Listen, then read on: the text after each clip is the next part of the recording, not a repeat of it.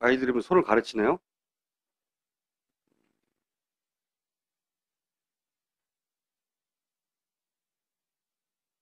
(18초) (19초) 예, 곧 24초가 됩니다. 24초? 아이들이 하나 들어옵니다. 오, 아저씨가 튀어나오고요. 오, 놀라서 벌떡 일어나고요.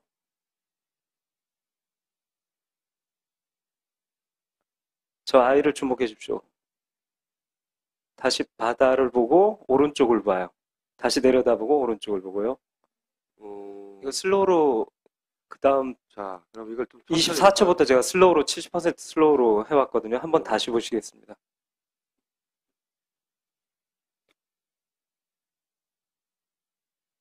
일단 난간으로 몰려갑니다, 아이들이. 그리고 저기서 튀어나오고. 튀어나오고요. B deck. 그리고 아저씨 아주 갑자기 깜짝 일어나고. 놀라서 일어나고. 주변을 봐요. 놀라서 이렇게 상체를 흔들면서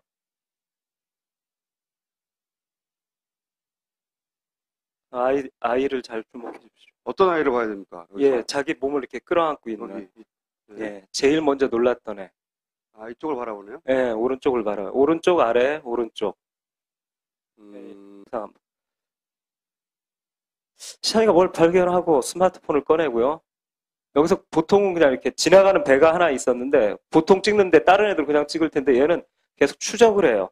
그러니까 뭔가를 뭔가를 이렇게 찍기 위해서 계속 가는 거예요. 가서 사진을 찍죠. 그러니까 배가 지나가는 방향으로 왔을 때 뒤로 계속 뭐가 밀려가고 있었던 그러니까 거죠. 뭐가 배, 배를 찍는다면 그냥 찍어도 되는데 크니까 뭔가를 이렇게 타겟팅해서 영상 하는 사람 알거든요. 원하는 거 찍으려면 자꾸 이동하게 되거든요. 자연스럽게. 자연, 뭐 누가 봐도 예. 여기 있던 게 이로 뒤로 갔다는 얘기죠, 계속. 예, 그렇게 뭐- 따라가면서 다시 한번 뭐, 예. 보세요. 뭘 발견하고 스마트폰을 꺼내고 그러니까 이 그리고 다른 애들은 그냥 찍으면 되는데 밴데 자꾸 왼쪽으로 가요. 자꾸 뭘 가서 이동을 해서 사진을 찍습니다. 그래서 뭘 찍었냐고 봤더니 이걸 찍었어요. 지나가던 배가 이제 홀리페어리라는 배인데 이 그 배를 위- 찍었는데 이 배를 찍은 건지 이걸 찍은 건지 배를 찍는다면 사실은 그냥 그 자리에서 찍어도 됐거든요. 왜냐면 얘가 73m예요, 길이가. 근데 그 배 위에 배하고는 다른 물체예요. 뭔가 물에 빠져 있어요. 그이 배가 73m니까 그냥 동일 선상에 있다 생각하고서 약식으로 계산을 해보니까 기- 이 수면 위로 나온 이 물체의 길이가 약 7m, 7m. 높이가 1.4m의 물체예요. 뭔지는 모르겠어요. 컨테이너 로 보기에는 각진 거라든가 이게 또 저쪽이 유선연이고 컨테이너 같지도 않고 정체불명의 물체입니다. 저 물체가 지금 배 건너편에 있는 거죠? 예, 이- 그러니까 이- 자연 그러니까 우리가 찍었을 때 이 배가 아마도 스쳐 지나간 배죠. 이 요 물건은 그대로 있고 이 배가 일로 지나갔겠죠. 그렇죠. 예, 네. 제가 지금 어. 동력을 갖고 가는 건지 아니면 떠 있는 건지는 확실치는 않아요. 그래요.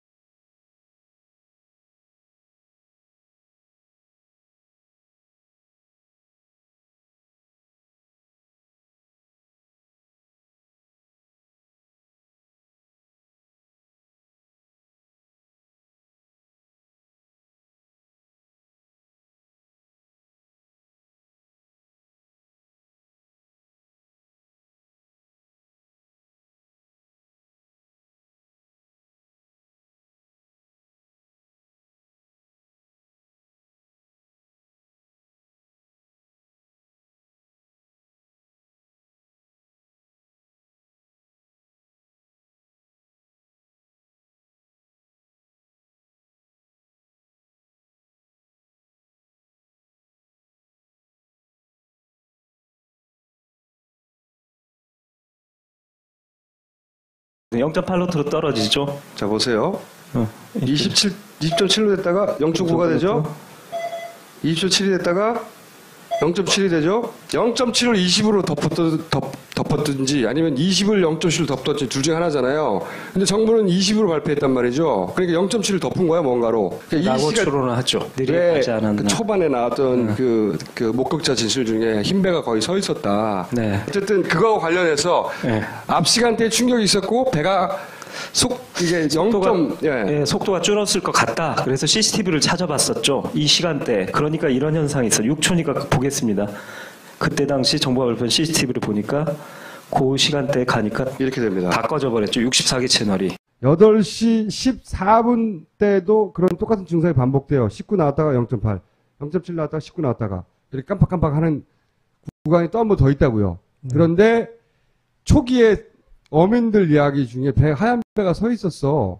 근데 이제 나중에는 후속으로 짧게 나온 기사들이 뭐냐면 잘못 봤다. 그렇죠. 그렇게 이런 하면서 다 식이거든요. 너무 멀리 있어서. 네. 근데 저는 그때부터 그게 말이 안 되는 생각하는 게 평생 그 서울에 살던 분들이 배가 그게 가는 건지 서 있는 건지 구분을 못 한다는 게 말이 안 된다고 봐요. 이렇게 큰 배가. 근데 이제 지금 와서 1년 지나고 나서 이런 증거들하고 연결해서 그런 의혹을 가지는 거죠. 연결해 보면 7시 5분 때 예. 뭔가 부딪혔고 네. 그리고부터 배가 한 10여 분 후에 네. 배가 속도를 확 줄여서 거의 멈춰진 게 아니었을까. 음. 그러니까 뭔가 이게 수리를 하면서 조치를 취했을 수가 있다고 생각돼요. 그러다 다시 혹은 상황 파악을 하느라고. 네, 응급 조치하고 다시 전속력으로 빨리 그걸 따라잡아야 되니까 달리다가 또 배에 무리가 오면 다시 낮아지고 이게 몇 번이 반복된 게 아닌가 사고 전까지라고 추- 좀 추정을 하고 있습니다. 앞 35분에 이제 여기 난간을 자세히 보세요. 사실 이 장면을 지적한 언론이 이때까지 한 번도 없었어요. 난간이 여기 우그러져 있어요. 한쪽이 절단돼 있어요.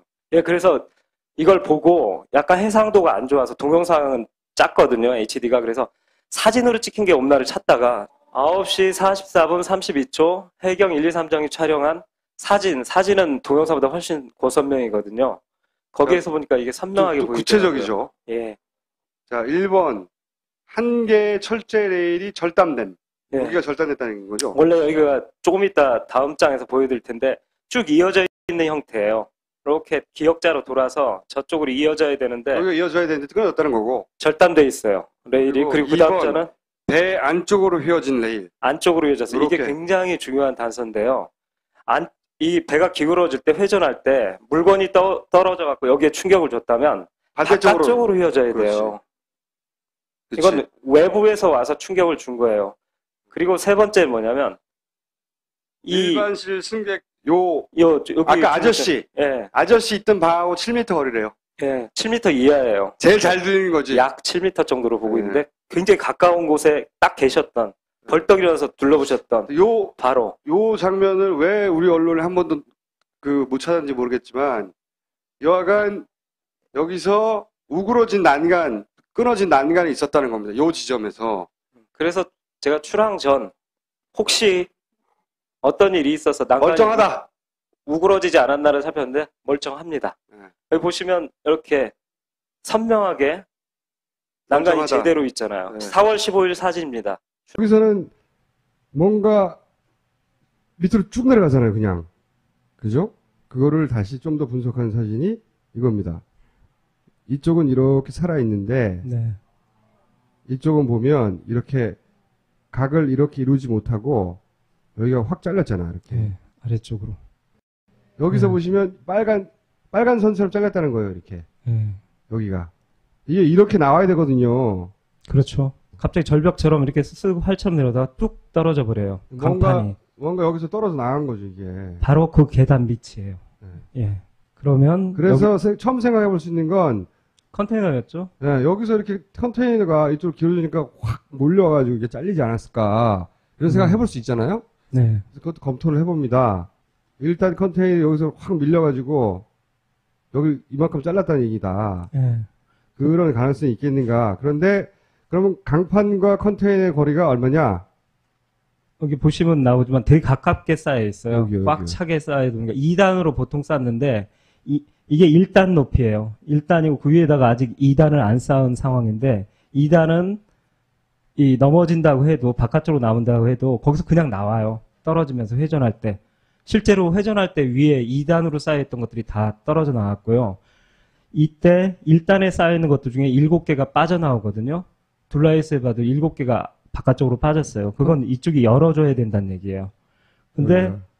그렇다면 이쪽을 파괴할 수 있는 컨테이너는 1단에 쌓였던 저 두 놈이거든요. 요 놈이 요 놈. 예, 요 놈인데 강, 요 거리를 재보니까 2m 정도밖에 안 돼요. 되게 가까워요. 그렇다면 무슨 얘기냐면 좀 멀어야지 확 기울었을 때 확 가속도로 붙으면서 부딪힐 텐데 2m면 그리고 바닥이 철판과 마찰하고 있잖아요. 물릴 때 아시겠지만 날아오는 게 아니라 바닷가 찍찍 끌면서 와서 쿵 부딪히는데 무게는 무겁겠죠. 왜냐하면 뒤 것들이 이렇게 차례로 미니까. 그러니까 압력으로 미는 거지 스피드로 하는 게 아니거든요. 그렇게 되면 사실은 바깥쪽으로 휘어지는 게 보통이죠. 그리고 이제 더 좋은 자료들을 받아갖고 저희들이 사진 분석을 통해서 공사하는 사진들을 분석하니까 이 타일 조각을 알게 됐어요. 강판 조각의 타일을. 보니까 이런 식이에요. 이게 한 타일이고 이게 한 네, 타일이고 한 타일이고, 타일이고 여기 타일인데 타일이고 타일이 이렇게 붙어 있어요. 용접 부위가 보이시죠? 그러면 이게 떨어져 나가야 되는데 저희가 잘리, 잘리는 게 많이 되냐는 거예요. 감독님의 그렇죠. 감독님의 분석은 만약에 이게 뭐 가속도가 그렇게 2m니까 많이 안 나더라도 무게에 의해서 음. 사- 밀려 나갔다. 네. 그러면 요게 한 판이니까 이게 밀려 나가거나 접히거나 떨어져 나가야 되는데 바깥쪽. 지금 절단된 부위는 여기가 여기를 탁 잘랐단 말이에요. 자 보세요 다시. 여기를 이렇게 딱 잘랐어요 이렇게. 여기를 잘랐는데 바깥쪽으로 밀리지도 않았죠. 꼭 칼로 자른 것처럼. 그보다 훨씬 더 빠른 게 뭔가 친 거 아닌가 이런 의혹인 거죠. 그렇죠. 그러니까 스피드가 있어야지. 그리고 이쪽 이쪽에서 수평 방향으로 쳐버리면 저 안쪽으로 휘어버리죠. 그러면서 용접 부위가 터지면서 저쪽으로 가는데 잘렸다는 얘기는 위에서 수직 방향에 가까운 곳에서 내려왔다고 봐야겠죠. 그래서 사실 저번 그 레일도 그렇지만 철제 레일도 그렇지만 안 U자형으로 휘어 있고 이것도 방향성이 왠지 위쪽에서 내려와야지 벌어질 수 있는 일이거든요. 그래서 짧게 말씀드린다면 저번 방송 나와서 게시판 보니까 잠수함 얘기하시는 분이 있는데 저는 잠수함은 거의 확률이 없다고 생각합니다. 잠수함이 적어도 이 부위와 관련해서는 예. 네. 저 계단을 건드릴 수가 없어요. 잠수함이 점프해가지고 한쪽 날개를 팍 자르고 예. 아, 그리고 또 대회전을 하면서 8시 50분경에 대회전을 하면서 컨테이너가 떨어졌다가 밖으로 나갔다가 물에 풍덩 빠졌다가 부력에 의해서 고무공처럼 튀어 올라와서 13m, 그때 만약에 기울어졌다 해도 7m인데 7m 위를 4톤짜리가 다시 쳤다라는 얘기를 하시는데 그건 제가 볼 때는 무협지의 세계예요.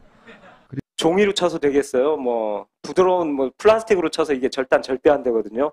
그러니까 첫 번째는 얘하고 똑같은 얘보다 강한 어떤 금속이어야 돼요. 그래야지 절단이 되죠. 그리고 두 번째는 스피드가 빨라야 돼요.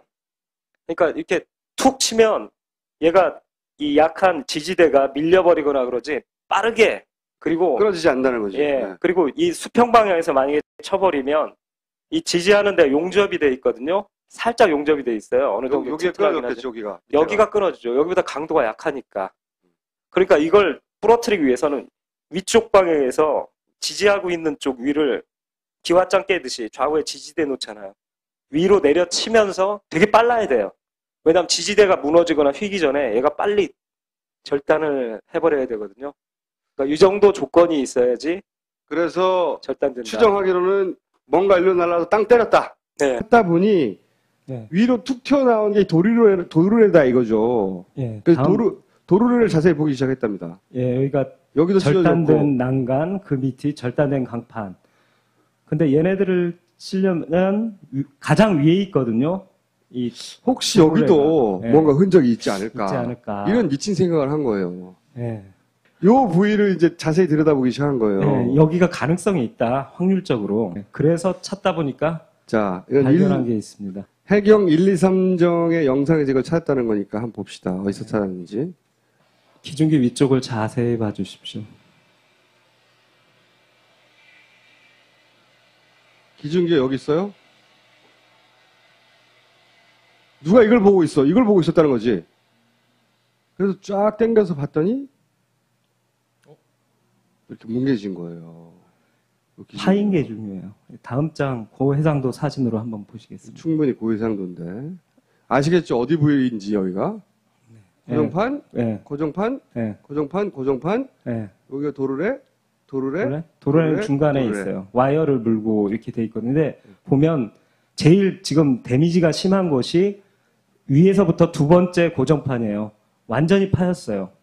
여기가 여기 뭔가 하여튼 충격이 간 거죠 여기가. 또. 일직선이죠. 신기하게도 꼭봉 같은 걸로 그러니까- 쇠봉 같은 걸로 후려 세려버린 것 같죠. 그렇죠. 여기를 때리거나 여기를 때리거나 이렇게 때린 게 아니라 뭔가 예, 이렇게 이렇게 친 게 아니라 이렇게 이렇게, 거죠. 쳐버린 거죠. 뭔가 이렇게 친 거죠. 그러니까 고정판, 강판의 측면이 깨져버릴 정도의 타격을 받았는데 더 중요한 건 뭐냐면 테두리 깨진 도르래가 존재해요. 도르래 2번과 도르래 4번. 여기 보이실지 모르겠는데 여기부터는 도르래거든요. 여기는 판이고요. 고정판. 예. 요 밑에가 까만 도르래. 도르래인데 도르래가 이렇게 깨졌어요. 이렇게. 도르래 테두리, 그걸 프렌즈라고 부르던데 테두리가 깨져버렸어요. 원형으로 깨진 거 잘 보시면 보이죠. 보이죠 여기. 예. 요 그리고. 도르래 산은 약간 깎인 듯이 약간 깨졌어요. 살짝 깨졌어요. 도르래 산은. 그래서 여기에 대해서 이제 제가 설명드린 기본 조사를 했거든요. 전문가들을 만나러 가기 전에 저희들이 이 멀티휠 도르래 블록에 대해서 이, 이해하시면 되거든요. 이게 뭐냐면 이것도 배워야 돼? 아, 아니 이게 되게 간단해요. 요 빨간 부분은 지지. 판, 판이고 예. 판 사이에는 요 동그란 도르래가 뺑뺑뺑 돌죠. 요 사이에 줄이 껴서 그렇죠? 그러니까 우물에 있는 도르래를 네 개를 연속으로 연결했다고 생각하시면 돼요. 오케이. 되게 간단해요. 근데 여기서 중요한 게 뭐냐면 여기 이런 데서 쓰는 멀티휠 도르래는 뭐냐면 멀티다 보니까 하나 같은 경우는 이게 돌면서 좌우 이격이 많아요. 그러니까 좌우로 이렇게 왔다 갔다 할 수도 있고 좌우에 이렇게 여유가 폭이 있는데 얘는 촘촘히 붙여야 되다니까 이- 이 사이 간격이 굉장히 좁아요. 그렇게 설계가 돼 쇠판하고 이 도르래 사이 간격이 굉장히 좁다고요. 네, 몇 미리 안 돼요. 그렇게 이렇게 컴팩트하게 만들어요. 예, 그리고 여기서 중요한 게 뭐냐면 이 도르래들이 여기에 쓰는 이 고강도 도르래들이 그러니까 이 지지하는 회전축을 잡는 요 사이사이의 고정판은 강도가 그렇게까지는 센 게 아니에요. 그냥 저 재료 공학 쪽 분을 만났는데 그렇게 센게 아닌데 진짜 중요한 게 뭐냐면 이 도르래. 예, 진짜 고강도예요. 기차 바퀴하고 거의 같은 강도를 갖고 있어요. 웬만해서는 안 깨진다는 거예요. 한마디로. 진짜 안 깨지는 애요. 네. 얘가 테두리가 지금 이렇게 돼 있어야 돼. 얘하고 거의 같은 모델인데 이, 렇게 돼 있어야 이게 똑바르게 이쪽 가장 높은 분이 원형으로 이렇게 돼야 되는 게 이렇게 되는 까졌다는 거잖아요. 근데 이 쇠판이 까진 것도 중요하지만 더 중요한 건 이 기차 바퀴처럼 단단한 도르래 일부가 까졌다는 거죠. 그러니까 엄청나게 센 힘이다. 그 이- 말을 하는 거고. 기차 바퀴하고 자동차하고 부딪힌 사진 같은 걸 봤는데 시속 100km 얘 안 깨져요. 얼, 얼마나 센 건지 아시겠죠? 이 강도. 이걸 이런 상처가 생기려면 어떻게 해야 되냐? 생각할 수 있는 가능성이 딴 게 없어요. 위에서 때려야 돼. 옆으로 때릴 수도 없고 여기서 때릴 수도 없고 밑에서 때릴 수도 없고 여기서 때릴 수도 없고 그냥 위에서 때려야 돼요. 그렇죠? 특성상 위치의 특성상 물건의 상처가 그거를 지시하고 있어요. 위에서 떨어졌네? 위에서 꼭 봉 같은 게 내려친 것 같죠. 근데 여기서 그 박사님이 정말 중요한 걸 지적해 주신 게 뭐냐면 타격받은 지점이 어 허공에 떠 있네 이 말씀을 하시더라고요. 이게 요 도르래가 만약 금속 위에 딱 고정돼 있다. 딱 하면 그러면 그러면 10의 힘으로 깰 수 있는 것을 이렇게 공중에 붕붕 떠 있으면 이게 움직일 출렁출렁 움직일 거 아니에요. 그러니까 10이 아니라 더 훨씬 센 힘으로 때려야 그 네. 정도 충격이 간다는 거죠. 제가 네. 그래서 그 박사님한테 사다리를 갖고서 한 말을 들고 올라와서 사람이 저 위에 쳐갖고 이 도르래 고강도 도르래를 깰수 있냐 했더니 불가능하다 이렇게 말씀하시더라고요. 그 고강도 도르래를 깨버리려면 엄- 그 얘기 하시더라고요. 금속 전문가 싹 굉장한 속도로 내려온 것 같은데라고 말씀하시더라고요. 자, 네. 우리가 한 얘기가 아니에요. 나는 사실 공중에서 뭔가 떨어졌을 서 세월호에 붙였을 상상을 해본 적이 없는데 우리도 해본 적이 없어. 해본 적이 없는데 이게, 이게 이렇게 돼 있더라니까. 아 저도 진짜 마찬가지예요. 충돌은 처음 조사 뭐 시작하면서 배가 충돌했나 뭐 어떤 아. 사람들은 잠수함 얘기하고 그러는데 이게 여기가 까졌어요. 여기가 이게, 이게 무슨 일이야? 이게 떨어졌어요. 그래서 그리고 감독 생각은 만약에 떨어졌다면 이게 일직선으로 쫙 떨어졌으니까 봉처럼 뭔가 좀 이렇게 길쭉한 물체가 아니겠는가. 네. 이렇게 길쭉한 물체가 아닐까? 사실 좀 신기했던 게 그건데요. 철봉 얘가- 철봉인가? 얘가 상처난 게 이렇게 돼 있잖아요. 네. 일직선으로 돼 있잖아요. 꼭 이 철봉 같은 걸로 때린 것 같잖아요. 근데 그 선에서 아래선으로 선을 쭉 이으면 일직선이요 이게. 강판하고 아. 대미 강판 잘린 곳하고 딱 일치해요. 이게 같은 시간대에 같은 물체가 때린 게 아니겠냐고 하는 강력한 추정을 하는 거죠. 었어요 지나가던 배가 이제 홀리페어리라는 배인데 이 그 배를 위- 찍었는데 이 배를 찍은 건지 이걸 찍은 건지 배를 찍는다면 사실은 그냥 그 자리에서 찍어도 됐거든요. 왜냐면 얘가 73m예요, 길이가. 근데 그 배 위에 배하고는 다른 물체예요. 뭔가 물에 빠져 있어요. 그이 배가 73m니까 그냥 동일 선상에 있다 생각하고서 약식으로 계산을 해보니까 기- 이 수면 위로 나온 이 물체의 길이가 약 7m, 7m 높이가 1.4m의 물체예요. 뭔지는 모르겠어요 컨테이너 로 보기에는 각진 거라든가 이게 또 저쪽이 유선연이고 컨테이너 같지도 않고 정체불명의 물체입니다. 저 물체가 지금 배 건너편에 있는 거죠? 예, 이- 그러니까 이- 자연 그러니까 우리가 찍었을 때 이 배가 아마도 스쳐 지나간 배죠. 이 요 물건은 그대로 있고 이 배가 일로 지나갔겠죠 그렇죠. 예, 네 제가 또- 지금 동력을 갖고 가는 건지 아니면 떠 있는 건지는 확실치는 않아요. 그래요.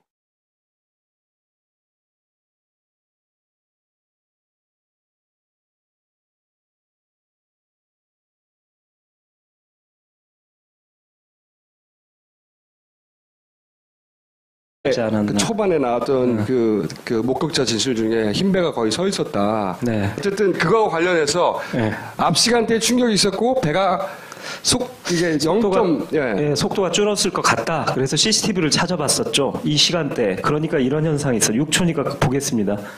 그때 당시 정보가 발표한 CCTV를 보니까 그 시간대에 가니까 이렇게 됩니다. 다 꺼져 버렸죠. 64개 채널이. 8시 14분 때도 그런 똑같은 증상이 반복돼요. 19 나왔다가 0.8, 0.7 나왔다가 19 나왔다가 이렇게 깜빡깜빡 하는 구간이 또 한 번 더 있다고요. 그런데 초기에 어민들 이야기 중에 배 하얀 배가 서 있었어. 근데 이제 나중에는 후속으로 짧게 나온 기사들이 뭐냐면 잘못 봤다. 그렇죠. 그렇게 뭐 하면서 다 식이거든요. 너무 멀리 있어서. 예. 근데 저는 그때부터 그게 말이 안 되는 생각하는 게 평생 그 서울에 살던 분들이 배가 그게 가는 건지 서 있는 건지 구분을 못 한다는 게 말이 안 된다고 봐요. 이렇게 큰 배가. 근데 이제 지금 와서 1년 지나고 나서 이런 증거들하고 연결해서 그런 의혹을 가지는 거죠. 연결해 보면 7시 5분 때 예. 뭔가 부딪혔고. 아이들이 뭐 손을 가르치네요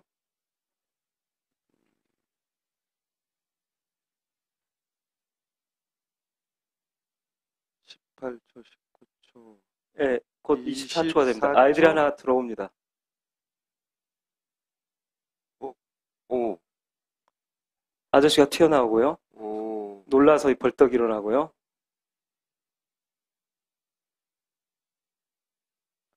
저 아이를 주목해 주십시오.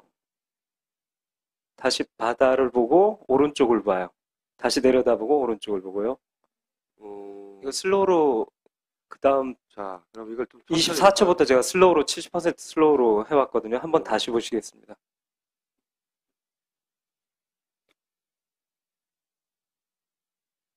일단 난간으로 몰려갑니다, 애들이. 그리고 저기서 튀어나오고. 튀어나오고요. B deck. 그리고 아저씨가 아주 깜짝 일어나고. 놀라서 일어나고. 주변을 봐요. 놀라서 이렇게 상체를 흔들면서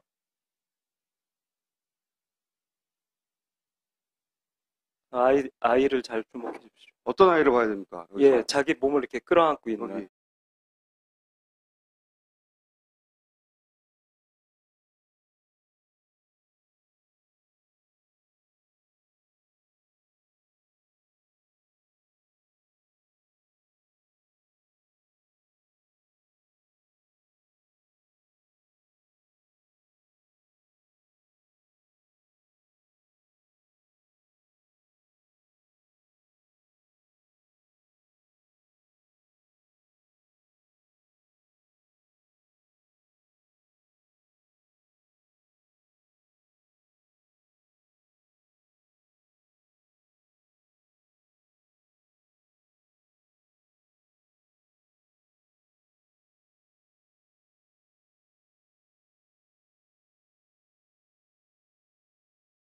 0.8로트로 떨어지죠. 자, 보세요.